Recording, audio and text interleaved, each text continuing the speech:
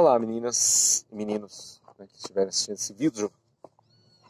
É, o povo me pediu para fazer uma interpretação deste texto aqui, ó, Censura na Arte, que aparentemente vai cair nas provas trimestrais do segundo trimestre, né, já que as do primeiro trimestre já foram. Então, eu vou ler o texto e estou aqui no Parque Semucan, em Cotia, dando um rolê de bike, para esparecer a mente e esquecer né, um pouco dos amores não correspondidos nessa vida. Mas tudo bem. O texto é um texto gigante, um texto. Eu estou com vergonha, tá? Porque talvez passe alguém aqui, eu, parece que eu estou falando sozinho. Mas estou falando com você que está aí ó, desse lado da tela, não é mesmo? Então, é, o texto é Censura na Arte, de Renata Queiroz de Moraes, americano. É um texto gigantesco, texto, né, eu tenho as minhas ressalvas, mas quem sou eu na fila do pão, não é mesmo? Tem aí, ó, seis páginas o texto. Imagina você, né, numa prova, fazendo, né, correndo aí o risco de ficar sem nota, com um texto desse tamanho para ler, chega no meio, você não lembra nem que está no começo mais, né? Eu entendo. Isso acontece às vezes em concurso, em vestibular, né? Cai um texto gigantesco e aí você chega no fim, você não lembra mais o começo dele. Aí você tem que ficar ali lendo de novo, vai perto um tempão da sua vida e no fim você erra tudo, mas com a minha ajuda aqui, você vai superar, você vai tirar nota. A melhor nota do mundo, eu acho. É, esse texto foi publicado em 6 de 11 de 2017. E se você quiser falar com a Renata, que é a autora do texto, você manda um e-mail para renataqueamericano.gmail.com O nome do texto, o título do texto, o nome do texto. O título do texto é Censura na Arte. Então vamos lá. Censura na Arte é a prática de examinar livros eu vou ler o texto, tá? E paciência, se você não quiser assistir, problema seu. A vida tá aí, né? Vai andar de bike igual eu estou fazendo hoje, correndo risco de tomar chuva aqui, linda. Mas vamos lá. É, a prática de examinar livros, filmes, peças de teatro, exposição de artes visuais, julgando se são imorais, ofensivos, ou que possam prejudicar a sociedade concede um poder ao Estado que serve aos interesses de quem? Essa é uma pergunta que não cabe uma única resposta. Ou seja, né, o Estado pode censurar as coisas? A quem interessa essa censura? Será que interessa realmente a sociedade? Ou a alguns poderosos que querem manipular você? Talvez, não sei. Vamos ver a reflexão de Renata Queiroz de Moraes, americano, sobre isso. É, essa é uma pergunta que não cabe uma única resposta. A liberdade de expressão foi é. A liberdade de expressão foi, é e sempre será atacada pela direita, esquerda e centro. Essa frase representa bem uh, o momento atual em que grupos de correntes ideológicas diferentes têm travado algumas batalhas sobre o que pode ou não pode no mundo da cultura, como veremos a seguir no texto abaixo.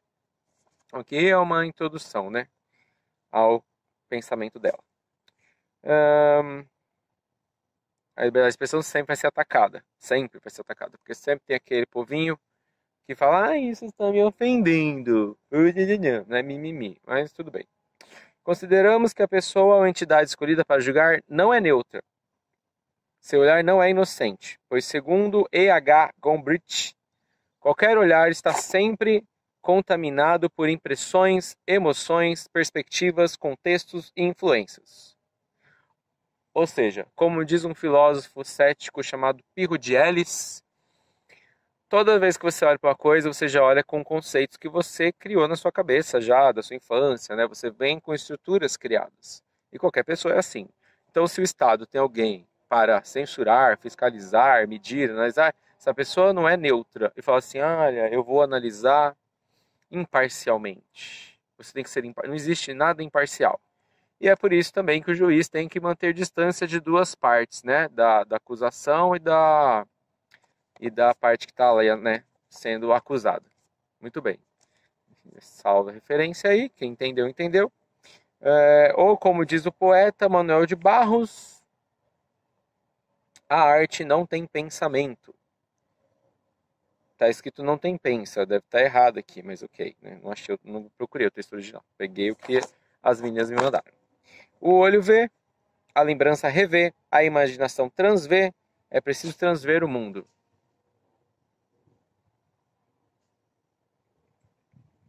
Tem gente mexendo atrás das árvores, gente. Será que tem um Jason ali que vai matar? Olha lá, aquelas árvores ali, ó. Tem gente mexendo lá atrás.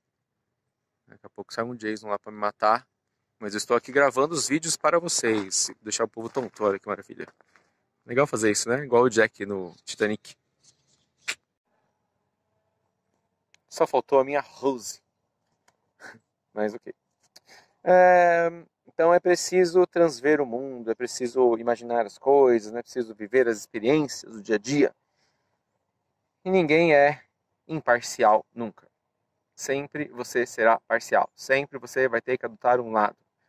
E como eu falo para uma amiga minha, é, costumo falar, acho que agora não preciso mais falar para ela, talvez, não sei.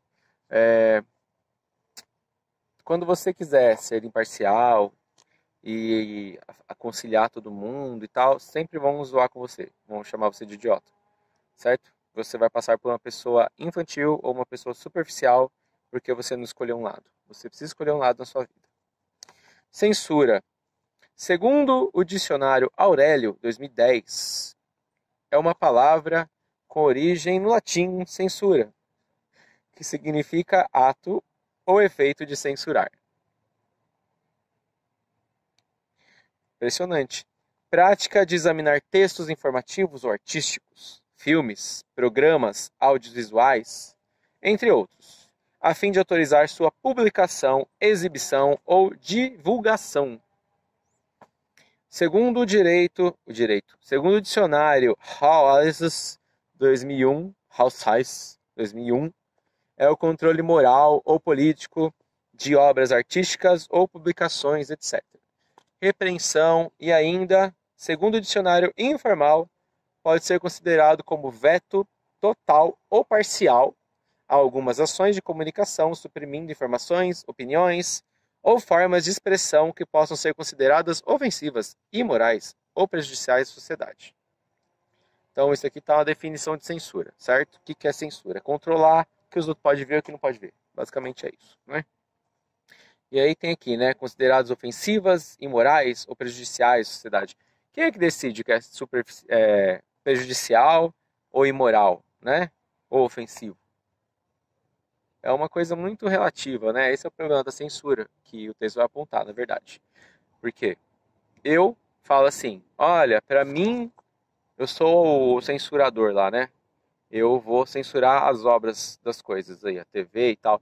Mas, assim, para mim é muito ofensivo pessoas andando de patins. Então, não vai ter esse filme aí com pessoas andando de patins, tá? E aí? Para mim é, mas pro outro não é. E aí? Quem que, né? Esse é o problema da censura. Tá? Deu para entender alguma coisa? Porque você vai ser censurado mas e aí? Quem garante o que é certo e o que é errado, não é mesmo? É, história de censura na arte no Brasil. É só um minuto que tá um sol aqui, bateu aqui, né? Tá tenso. Censura na arte no Brasil. Vivemos em um mundo todo conectado, em que as redes sociais estão cada vez mais presentes, multiplicando nossos amigos e a rapidez de circulação de informações. Um mundo em que quase tudo pode ser publicizado e exposto e não se guardam mais segredos. Um mundo onde temos liberdade de expressão. Publicizado, meus queridos e minhas queridas, é relativo à publicidade, certo? Então, o que pode ser publicizado é, por exemplo, esse vídeo. Você pode publicizar esse vídeo para mim, né? Você pode, olha aí, ó, o celular na minha cara, bonito. Você pode divulgá-lo. Você pode Tem uns barulhos aqui, né? Estranho isso, gente. Você pode divulgá-lo. Então, tudo pode ser publicizado, ou seja, vendido, divulgado. Essa é a ideia, né? Lembra de publicidade. É... Cadê? Exposto, né, tal. Todo mundo pode falar o que quer, você posta no Instagram, até a comida que você comeu, aquela coisa básica, né, que você já sabe. Muito bem, vim pra sombra porque tá um sol de lascar ali. É aquela coisa, né, tem hora que o sol vem forte pra caramba, tem hora que dá uma sumida nas nuvens. Vamos ficar aqui no cenário de crepúsculo para poder gravar o vídeo. Vamos lá. Então, vivemos muito exposto, blá blá blá. Então, é isso aqui tá falando aqui nesse parágrafo, né? Você expõe, expõe, expõe, expõe toda a sua vida, vai comprar uma bala e tirar foto da bala para postar no Instagram. É, Ian McEwan, 2015, afirma que há mais liberdade de expressão, pensamento livre, inquérito gratuito na Terra agora do que em qualquer momento anterior da história registrada. Que agora você pode perguntar o que você quer, né? No Facebook, Twitter e etc. Passando uma pessoa ali atrás olhando para mim, ó. Gravando vídeo. Sou envergonhado agora. Tá vendo a pessoa ali? A pessoa parou atrás da árvore. Ó, vai passar. Passando, passando. Olha lá, viu? Muito bem. Continuando aqui. É, para além disso, o autor Timothy Garton Est, 2016, P1, ou seja, página 1, sugere que nós, todos os seres humanos, precisamos ser livres e capazes de nos expressar e de buscar, receber e transmitir informações e ideais, independentemente de fronteiras. Precisamos né, poder nos comunicar livremente. Como diz Aristóteles, o ser humano é um ser social. Ao mesmo tempo, estamos assistindo a um debate acalorado sobre censura, sobre proibições, sobre moralidade, sobre até onde vai a nossa liberdade em nome de quem? Então, ele está falando aqui, né? É... Hoje, 2019, há uma grande discussão aí de grupos conservadores que são ditos de direita porque defendem a moral e os bons costumes, e o povo de esquerda que é tudo depravado, né, safado, sem vergonha, cachorro, pilantra, né? Enfim, e essa palhaçada fica indo distraindo o que importa realmente, que são as políticas públicas para o bem comum. E mas enfim, não é isso que está falando o texto, sou eu falando, tá, gente? Desculpa aí que eu viajo da maionese. Mas é, o texto está dizendo o quê? Quem é que decide, né? Quem é certo e quem é errado? Quem é que decide? Eu sou de direita, então eu sou conservador, eu tô certo. Eu sou de esquerda, eu sou depravado, eu tô errado. Não que costumes, né, e tenha a ver com direita e esquerda, porque direita e esquerda é posicionamento político. Mas o povo acha que direita é isso, né? Que o Estado está preocupado com a moral e os costumes. Enfim. São vários episódios que marcaram a história da censura na arte, como afirma Hauser, 1972. O Concílio de Trento, que durou de 1545 a 1563, colocou fim ao liberalismo nas relações da Igreja com a arte. O Concílio de Trento, para quem não sabe, foi um concílio. Para quem não sabe o que é um concílio, né?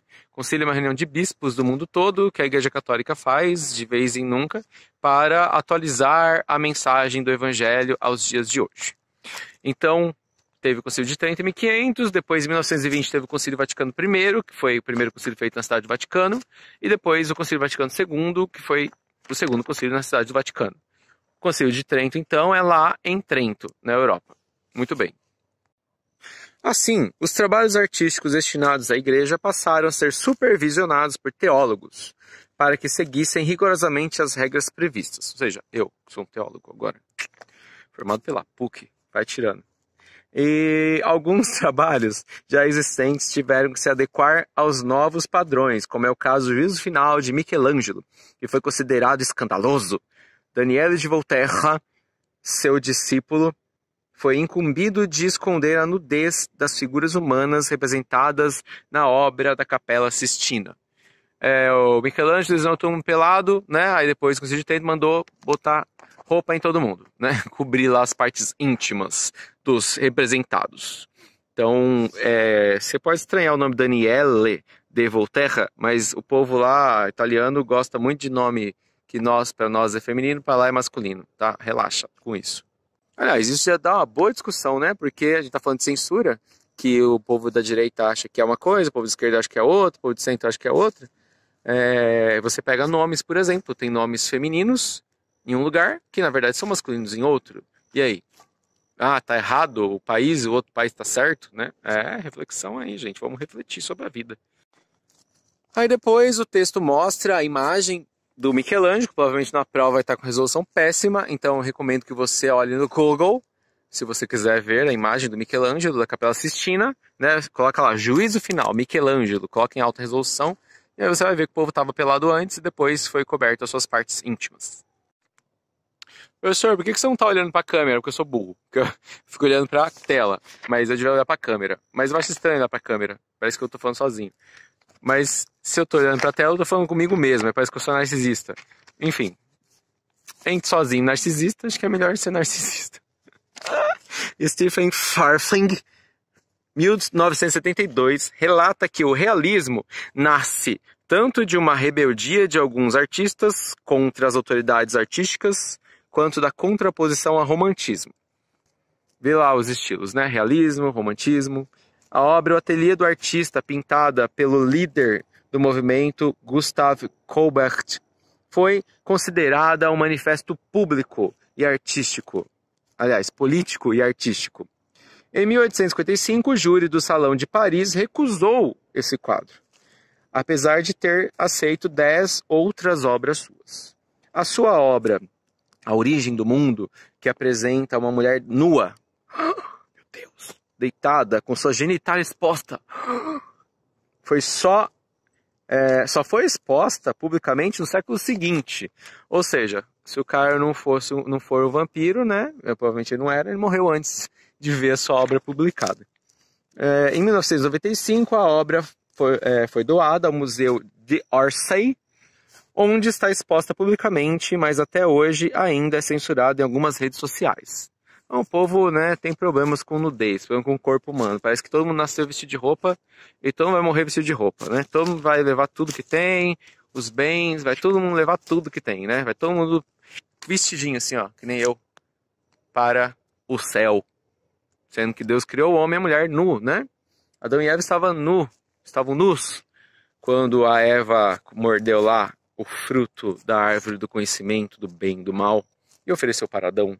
Só depois que eles comeram o fruto do conhecimento do bem e do mal é que eles perceberam que estavam nus e ficaram com vergonha. Isso quer dizer o quê, né, teologicamente falando? Que quando estamos em estado de natureza, nós não enxergamos um problema na nudez. O problema está nas convenções sociais, o problema está na maldade do ser humano, né, que a igreja chama de pecado original. Problema está no olho daquela pessoa que olha e não naquela pessoa que é olhada. Deu para entender? Não. Então eu vou explicar melhor. O problema está em quem olha. Você olha com olhos de maldade, porque, por exemplo, se você é cristão, você fala assim: ah, eu creio em Jesus, não é mesmo? Então Jesus manda você olhar com olhos de misericórdia para as pessoas, não com olhos de desejo, nem com olhos de maldade. Mas esse pessoalzinho aí, ó, não vou dizer qual pessoalzinho, mas começa com D, de direita, é, fica se achando superiores aos outros, melhores do que os outros, e todo mundo tá errado, só eles estão certos, né? O olhar de que eles são juízes do mundo, sendo que na verdade lá na carta de Tiago, capítulo 4, versículo 12, está escrito: Quem é você para julgar o seu irmão? Só Deus é juiz, meu querido, só Deus, você não é nada, tá? Ponha-se no seu lugar, na sua insignificância. Continuando aqui. Em 1865, no Salão de Paris, Manet expôs o seu quadro Olímpia, provocando uma grande polêmica. Meu Deus, a nudez de uma cortesã, retratada com um realismo que evidenciava a vida cotidiana da época, causou incômodo aos conservadores que consideravam a obra imoral e vulgar. Farthing, 2010, é a citação que eles colocam. É, procura aí no Google então, né? É, o quadro Olímpia de Manet, M-A-N-E-T. É, em 1937, a exposição Arte Degenerada foi organizada em Munique, mostrando trabalhos de artistas que tinham sido considerados impuros e ofensivos ao regime nazista, entre eles Emil Node, Henri Matisse, Georges Braque, Braque Otto Dix, Lazar Segal. Tem um museu do Lazar, Segal lá na Vila Mariana. Vá lá, vá lá ver antes da prova. Na estação Santa Cruz do metrô. E Max Ernst. Segundo a enciclopédia Itaú Cultural de Arte e Cultura Brasileiras, a obra, as obras né, desse povo aí foram consideradas degeneradas por mostrarem falhas ou mutilações em formas distantes do padrão do naturalismo e considerava a harmonia, a perfeição o equilíbrio como num padrão aceitável, como único padrão aceitável, que é a influência grega, né? Vocês já devem ter ouvido falar nisso, já falei para vocês, eu acho, lá quando começou o ano, mas eu não lembro lembrar mesmo, né? eu sei que vocês não lembram de nada. É, mas lembro de mim, olha que bonito, pediram minha ajuda aí para interpretar o texto. Então, é, o padrão grego de influência, né, que influencia até hoje na nossa sociedade, é, padrão da beleza, padrão de Apolo, deus da beleza, padrão homem tem que ser bonitão, saradão, né, tem que ter o cabelo curto, tem que ser branco, alto, enfim, aquele padrão Rede Globo, né, e todo mundo compra isso como se fosse algo natural, mas na verdade isso é um padrão instituído pelos gregos, que influencia até hoje, os romanos, né, grego e romano, mas enfim, continuando aqui. É, o problema é esse, né? Achar que só esse padrão grego é o aceitável, é o único aceitável. Se você não for igual a eles, for judeu, né? Por exemplo, como Hitler perseguiu os judeus, por uma questão estética também, porque tem uma fisionomia diferente. Então, aí não serve, né? Tem que morrer todo mundo. O racismo surge daí também, né? O branco fala assim, não, eu sou branco, eu sou o único certo, eu, tô, eu sou Deus. E você que é negro é um bosta, né? Então, Surge daí o racismo também. Estipular padrões. O problema de estipular padrões é esse. Você fala assim, ah, esse é o padrão certo. Ah, não é assim, então? É... Onde que tá mesmo? Perdi aqui. Ah, tá. Essa exposição, de acordo com o filme Arquitetura da Destruição, Iceman Topping, não é um filme exatamente, é um documentário, é, foi organizada para denegrir a arte moderna considerada depravada, tanto moralmente como intelectualmente. Após a exposição e a acusação sobre seus autores, as obras foram queimadas como exemplo. Assista lá a menina que roubava livros, tem uma cena que eles queimam os, os livros, né? Lá. Hitler queria banir essa arte considerada degenerada, principalmente aquela ligada aos artistas de origem judaica. O regime nazista prosseguiu na censura. Exposições de arte foram canceladas, Livros foram queimados em praça pública, quadros foram confiscados e foram presos artistas, curadores e professores. Até mesmo a famosa escola de arte e arquitetura de Bauhaus, Bauhaus foi fechada.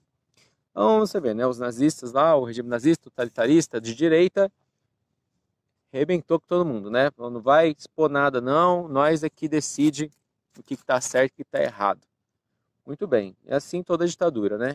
a ditadura de esquerda também são assim, né? Os ditadores decidem o que é certo e o que é errado, o que pode ser exposto, o que não pode, né? Você vai ver daqui a pouco no texto que aqui no Brasil também vai ter isso, né? De, de promover só aquilo que é benéfico para o governo. E, enfim, vamos lá. Vários outros fatos continuaram acontecendo nos séculos 20 e 21, relacionados à censura na arte e muitos deles ligados a questões religiosas como o uso de imagens sagradas e situações provocativas, como The Holy Virgin Mary, do artista Chris Offaly, feita de estrume de elefante, com colagens de imagens pornográficas. É, então é demais também, né, gente? Tem que ter um bom senso, né? Mas vai mexer com a fé dos outros é um problema, né? Cada um fica com a sua fé, gente, né? Enfim, tem gente que também abusa da, da boa vontade dessas pessoas. Porém, um dos episódios mais marcantes desse século se deu no ataque ao jornal satírico francês Charlie Hebdo. Você deve ter ouvido falar disso, né? Passou no jornal, lá na França, veio os muçulmanos e matou todo mundo lá, no jornal. 7 de janeiro de 2015. Oito profissionais de publicação, dois policiais, um funcionário que estava na recepção e um convidado na empresa. Convidado, tá vendo? Nunca vá como convidado na empresa, pode ser morto por uns atentados aí terroristas. Né? Muito bem. Foram mortos a tiros por terroristas mais uma vez, a fé religiosa foi usada como justificativa para o atentado. O jornal tinha publicado algumas charges que foram consideradas ofensivas por muçulmanos. E essa coisa de religião eu já falei com vocês. É, a religião está lá de boa, na lagoa, na vida dela, querendo transformar as pessoas em pessoas melhores. Qualquer religião. Pode ser muçulmano, pode ser budista, católico, é, evangélico, indiano, né, hinduísta no caso. Né, todas as religiões querem transformar pessoas em pessoas melhores problema é que o Estado ou algum grupo de pessoas usam a justificativa da religião para os seus interesses próprios.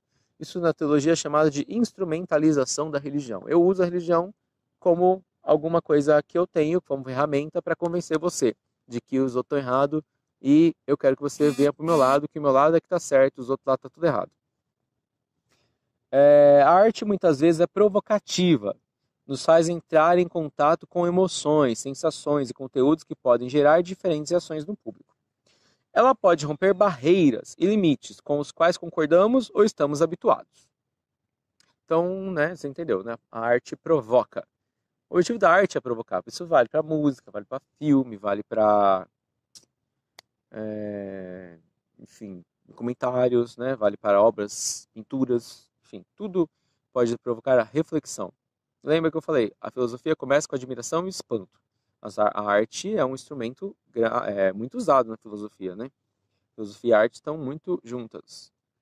Um, Leandro Carnal, em entrevista ao programa Altas Horas, em 11 de novembro de 2017, comenta que a arte tem um potencial polêmico, que pode violar normas e regras.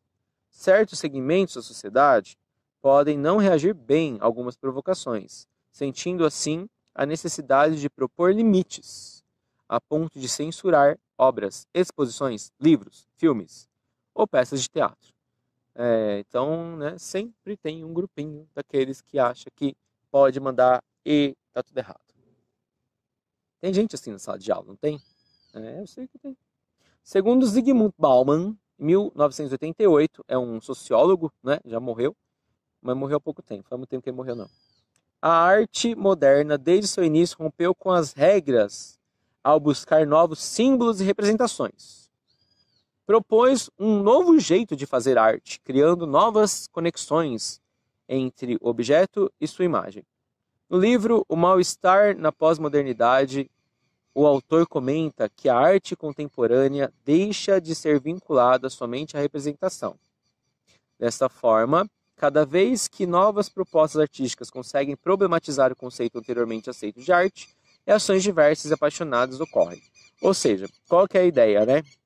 É, você tem um conceito de arte. arte é, por exemplo, isso aqui, né? A pessoa tira uma foto de árvore, assim, isso é arte, porque vem acalmar aí as pessoas e tal. Isso é o conceito de arte. Aí aparece alguém que, sei lá, tira a foto de um trânsito, trânsito congestionado.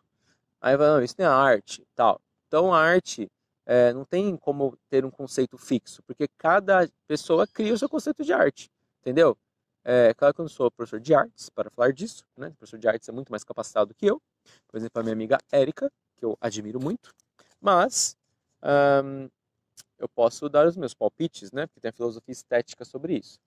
Quando você quer, é sempre a mesma discussão, gente. Quando cria um conceito, aí aparece a gente falando, não, esse é outro conceito, tipo, tem esse conceito aqui, X. Aí aparece o conceito Z. O que, que o pessoal do conceito X vai fazer? Atacar o do conceito Z, certo? Essa é, é sempre vai acontecer isso. É isso que está falando no texto. O Bauman está falando, né?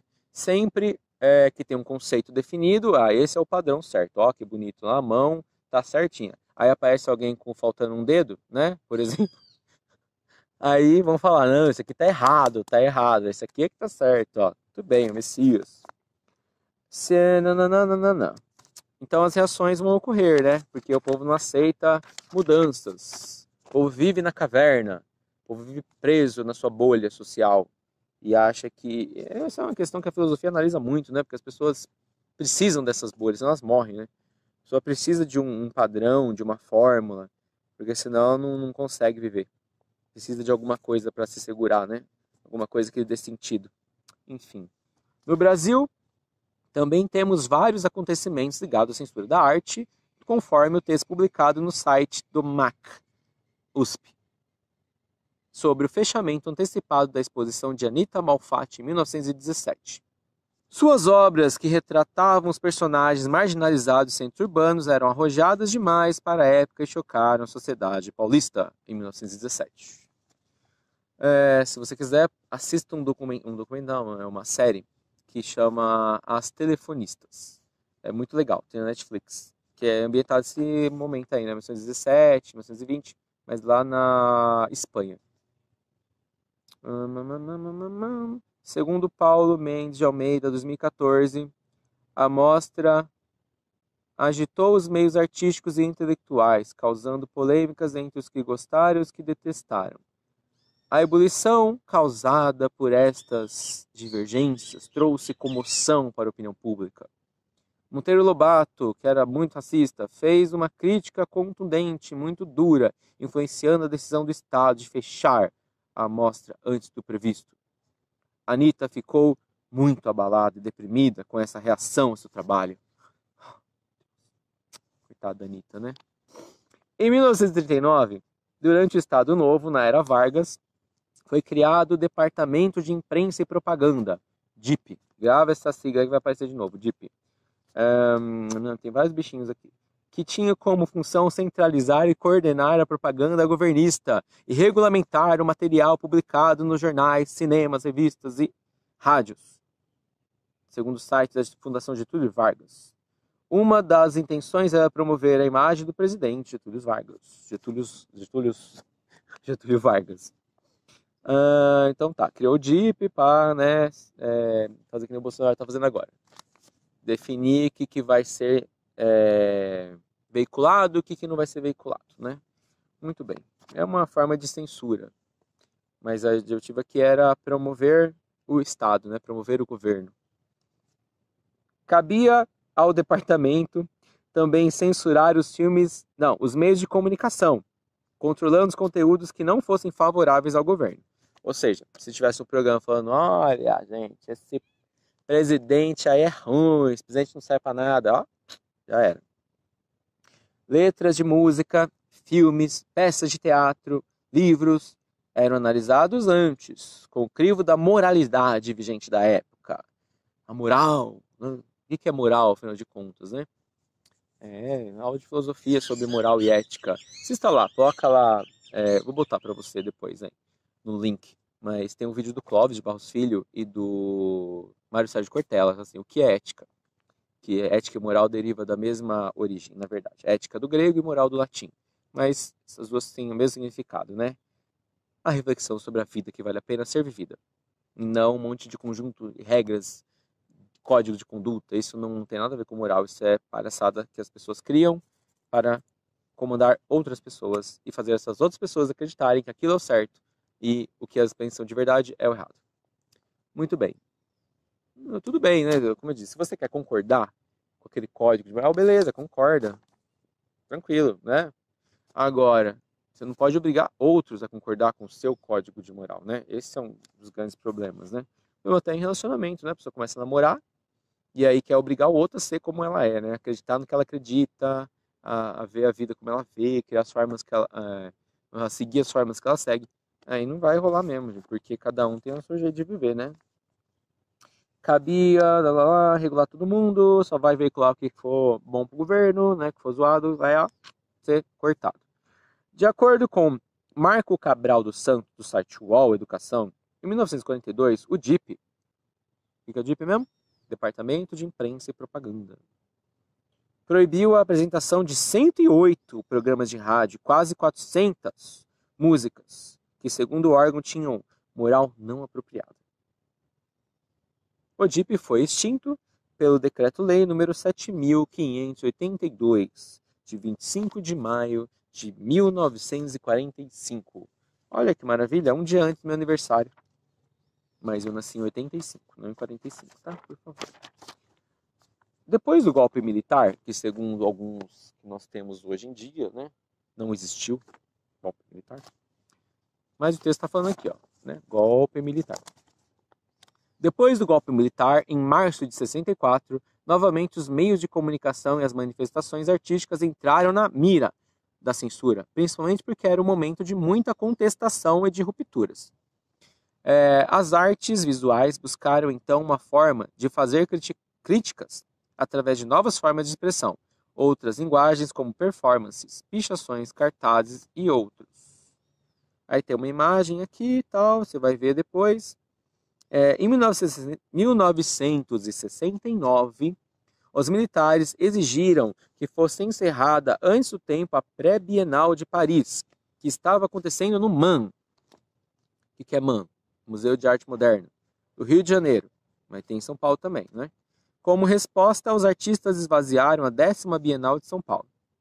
Segundo o site oficial da Bienal, 80% dos artistas convidados não participaram da mesma, como forma de protesto contra a ditadura civil-militar, contando com a adesão de vários artistas estrangeiros. Então, o povo boicotou a exposição, né, a, pré, a Bienal. É, os artistas, músicos, atores, escritores, acho que eu estou babando aqui, não sei se dá para ver, mas tudo bem nessa época buscaram várias formas de se manifestar contra uma política opressiva e ditatorial, criando a ideia de uma vanguarda nacional. Então o povo se reuniu para protestar, né, manifestar contra isso. A música popular brasileira estava em alta, principalmente pelo sucesso dos festivais que atraíam multidões. Segundo o site Música Brasilis, o decreto institucional, né, o ato institucional 5, AI5, foi um instrumento legal utilizado para censurar. Legal não é legal assim, ah, é legal, foi legal. Não, foi muito ruim, na verdade. Não foi nada legal. Bem pelo contrário, foi bem chato. Mas legal no sentido de lei, né? Foi usado como instrumento legislativo, né? Foi usado como lei, embora fosse uma ditadura, né? Fosse um ato como se fosse de um imperador, né? Só o presidente poderia fazer as coisas.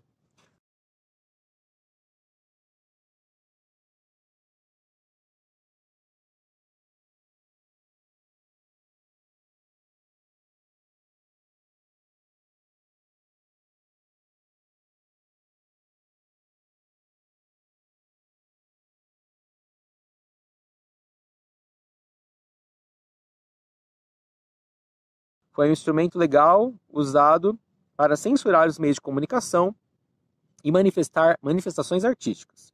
Então o pessoal censurou lá mesmo, né? Meios de comunicação e manifestações artísticas, piorando a situação de quem queria se rebelar ao poder vigente. Na época, a música Para Não Dizer Que Não Falei de Flores, de Geraldo Vandré, foi transformada num hino de protesto. Caetano Veloso, no Festival da Canção, em 1968, apresenta música É Proibido Proibir, acabou gerando muitos protestos e vaias, e segundo o próprio discurso dele, mostrava a incoerência da juventude. Muitos compositores começaram a se utilizar de metáforas para que suas letras pudessem ser veiculadas em meio de comunicação. É, a galera fazia muita música assim que você não entende o significado se você não for lá na época para entender. Meio estranho isso que eu disse, mas tudo bem. Né? Principalmente o Chico Buarque, por exemplo, tem várias músicas assim, né? Porém, o regime estava cada vez mais fechado. O regime estava fechado, né? Preciso fazer um regime também, porque, né? Ó, tá difícil aqui o negócio. É, nesse período, muitos artistas, músicos e atores tiveram que deixar o país, que é chamado de exílio, né? Foram exilados. Posteriormente, na década de 80, apesar da abertura política, tivemos alguns episódios ligados à censura, vindos de representações de uma parcela da sociedade, que conseguiram proibir a exibição de peças de teatro em partes ou inteira, assim como de alguns, alguns programas televisivos. Então tinha um grupinho, sempre aquele grupinho conservador, né, da família, cidadão de bem, que é, projeta no outro todas as suas mazelas existenciais, né? Então, por exemplo, eu sou cidadão de bem, sou o cara que né, é, é da família tradicional brasileira. Aí eu olho para todo mundo com olho de desejo, né? Eu olho para todo mundo é, cobiçando, eu olho sempre querendo destruir, né? Sempre com olhar de maldade. Aí o que eu vou fazer? Vou querer censurar tudo aquilo que fale disso, né? Porque eu não quero me ver ali. É sempre uma projeção. Psicologia explica muito disso, né? Pessoas projetam naquilo que querem proibir aquilo que realmente são. Como relembra a nossa ex-prefeita da capital paulista, Marta Suplicy, em artigo de 30 de outubro de 2017, publicado na Folha de São Paulo. Há mais de 30 anos, esses temas, profundamente ligados à condição de subordinação feminina, já eram discutidos na TV Mulher, na TV Globo. As senhoras Santana e os generais reclamavam a censura obrigava a enviar os textos para apreciação prévia. Que bonito, né? Apreciação prévia, né? Não era para cortar, era para apreciar o texto. Muito bem. Estamos chegando ao fim, gente. Página 6, hein?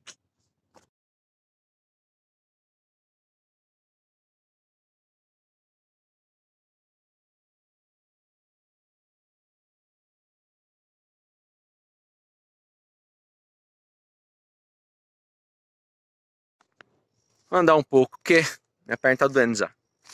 José Sarney, então, presidente do Brasil, depois de pressionado, proibiu a exibição do filme Je vous salue Marie. Não sei falar francês, vou pedir para uma amiga minha falar e depois eu falo certo. Je vous salue Marie. Tem um celular na minha cara, vamos ver aqui. Aqui está melhor, né? Não, deixa eu ver aqui.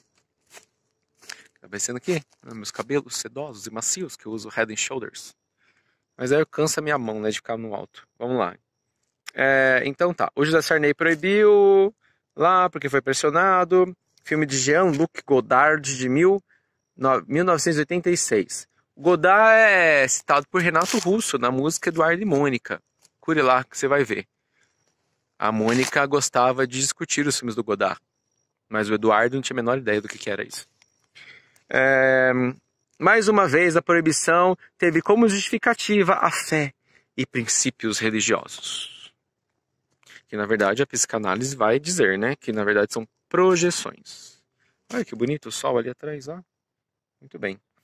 É, em 2017, a discussão sobre a censura ganhou força novamente, motivada por novos episódios.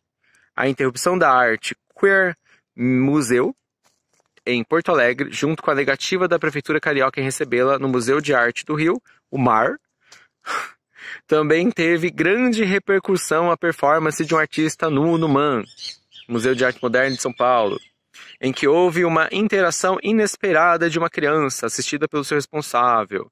Eu não deve ter ouvido falar nisso, né? Se não ouviu, me manda aí perguntas que depois eu gravo um vídeo explicando sobre isso. Por fim, ocorreu a proibição de uma peça teatral sobre Jesus Cristo, encenada por um transexual. Grupos mais conservadores alegaram que a exposição, a performance e a peça estavam ferindo princípios morais e religiosos, com argumentos como de incitação à pedofilia, o desrespeito às figuras sagradas, as discussões cresceram e se tornaram manifestações em frente aos museus, principalmente ao MAN, onde funcionários foram agredidos, de acordo com as informações do site da Folha no dia 3 de outubro de 2017. Então, o povo não contente em querer proibir, começaram a agredir o povo que estava lá abrindo as portas. Posteriormente, na exposição Histórias da Sexualidade, apresentada no fim de 2017 no MASP, houve veto à presença de menores de 18 anos na verdade escrito ano, aqui tá faltando um S, tá? Só para avisar. Proposto pela própria instituição, que pode ser entendido como uma autocensura. Não auto, tá? Não é autocensura, é auto de si mesmo, tá? Com o. Não, tem gente que escreve auto, por exemplo, automóvel com L. Não, né? Por favor. Alto com L é de alto. Essa árvore é alta com L. Alto com U é eu, tio. Eu alto, tô auto gravando o vídeo, né? Eu mesmo. Muito bem. Self, myself. É... A Associação Brasileira de Críticos de Arte publicou a carta Manifestação contra a Censura em outubro de 2017. Lutamos por uma sociedade plural, constituída pelo debate, pelo dissenso e plenamente fortalecida nas mais variadas formas de expressão de, da cena contemporânea. É, dissenso é o contrário de consenso, né? Por exemplo, eu me reúno com a turma e faço um consenso. Vamos fazer uma festa no Parque de Barueri. Consenso. Dissenso é, não, não concordo com essa festa, eu não concordo com outra. Ninguém precisa concordar com ninguém, entendeu? É isso que está falando aqui. É, às vezes a gente fala, não, todo mundo tem que concordar com todo mundo. Não tem. Essa que é a questão. É, e é isso que muitos grupos radicais de esquerda ou de direita não entendem. Você não precisa concordar com as coisas. E, mas a gente é ensinado na escola, domesticado, né? A gente é modelado, a gente é modelado a, a falar assim, não, a gente sempre tem que conciliar, sempre tem que estar em consenso. Não. Se todo mundo pensar igual, nada muda nunca, né? A sociedade vai mudando ao longo do tempo, por quê? Porque tem gente que pensa diferente. Senão, nada muda. Por exemplo, hoje as mulheres podem ir para a escola, e muitas mulheres, garotas, estão assistindo esse vídeo, né, para fazer a prova, mas em 1920 não poderiam. 1950, né? Poucos anos aí, se você analisar a história da humanidade, né? Que a mulher conquistou alguma independência causa do movimento feminista. Aí vem lá a mulher e fala, não, não preciso de feminismo, porque eu, eu faço o que eu quiser. Claro que você faz o que você quiser, porque já teve gente que morreu para você fazer o que você quiser, né? Agora não precisa mais. Mas, se você continuar agindo dessa maneira, vai ter que morrer mais gente novo para poder voltar os direitos que você está querendo acabar com eles, né? A menina tem que fazer coisa de menina, cozinhar, passar, né? Brincar de boneca. E o menino pode brincar de corrida, de bicicleta, de avião, etc. Menina não pode, isso é coisa de menino. Mas é ridículo, né? Muito bem. Em vez de ensinar o menino a respeitar a menina, ensina a menina a não abrir as pernas, a sentar bonitinha, a usar rosa, aquela coisa idiota. Muito bem. Um, estamos uma sociedade plural, constituída pelo debate, pelo dissenso e plenamente fortalecidas as mais variadas formas de expressão da cena contemporânea. Ali de novo, mas tudo bem. Defende a nota da ABCA. O que é a ABCA mesmo? Hã? Associação Brasileira de Crítico de Arte. É, fica ligeiro aí, gente. Somos contra qualquer forma de censura, pois ela restringe, restringe a liberdade de expressão e do conhecimento e tenta retirar da arte a sua potencialidade de dissidência e ruptura, ou seja, de contestar né, o que está acontecendo no mundo. Quando a arte se torna só um enfeite, ah, ela não contesta nada, né? Tira uma foto da paisagem, olha aí. Paisagem bonita, não é mesmo? Olha lá, tem as árvores, tudo bonitinho. A pessoa fala assim: olha, a arte é para isso, para poder tornar a vida mais tranquila. Não, a arte é para contestar, a arte é para fazer as pessoas pensarem e mudarem, né? Se for necessário. É... Como ser livre tentando calar o outro? Se eu quero calar você, como é que você vai ser livre? E se você quer me calar, como que eu vou ser livre? Né? Não existe liberdade. Questiona a associação. A arte, em suas manifestações, pode exercer em seus espectadores o choque, o incômodo, entre outras manifestações que podem suscitar a reflexão, ou seja, podem despertar, podem despertar a reflexão. É, a censura, quando exercida, impede manifestações como essas, deixando lugar apenas para conformidade. Ou seja, se tem censura, eu sou governo, censura as coisas, ou eu sou um grupo, censura as coisas, ou eu sou diretor da escola, censura as coisas, tudo vai ter que ser como eu quero e nada vai mudar nunca, né? Se você, adolescente, que está assistindo esse vídeo fica censurando as coisas, às vezes o adolescente é mais censurador do que adulto, né? Sabia disso, né? Aceita aquilo que ele quer. Não, só, isso é tudo besteira, tudo uma bobeira.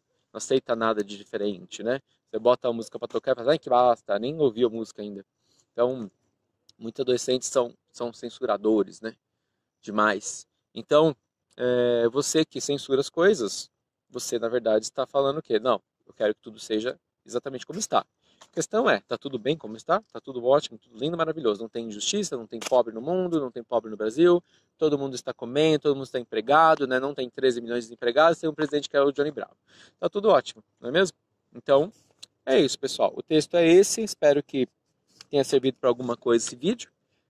Muito obrigado pela sua atenção. E não esqueça, e não esqueça de curtir o canal, de se inscrever no canal, se curtir o vídeo, né? Curtir o vídeo, se inscrever no canal, compartilhar com seus amigos, que eu quero ficar rico, milionário, famoso.